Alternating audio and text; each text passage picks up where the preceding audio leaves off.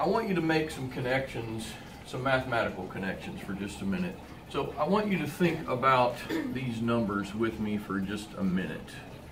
Think about the number 100.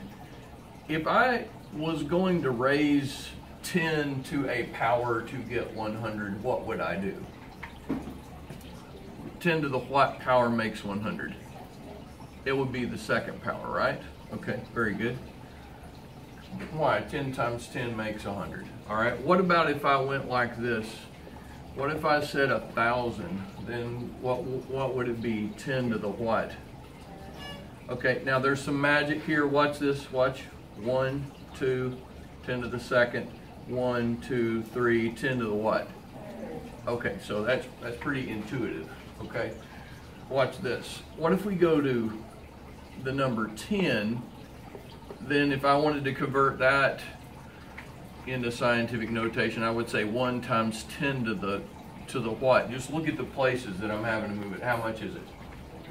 1 times 10 to the 1. Okay, so if I had the number 1, then then that would be 10.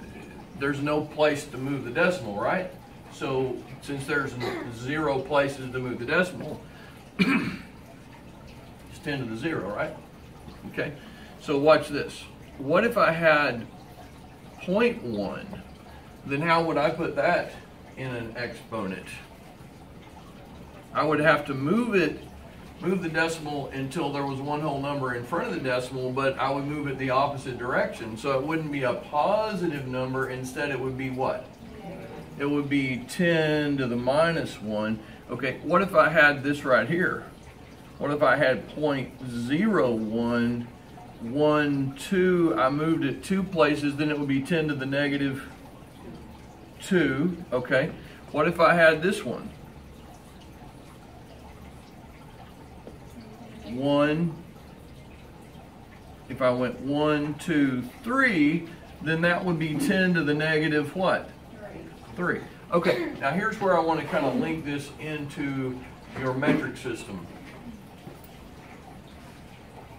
10 to the 1 is deca. 10 to the third is kilo. 10 to the minus 1, do you know what this one is? Say it out loud. Deci. And so 10 to the negative 2 is what? So if I want to know how many centimeters in a meter, there are 100. And what would this one be here? 10 to the minus 3.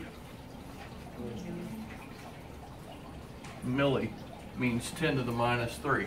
So,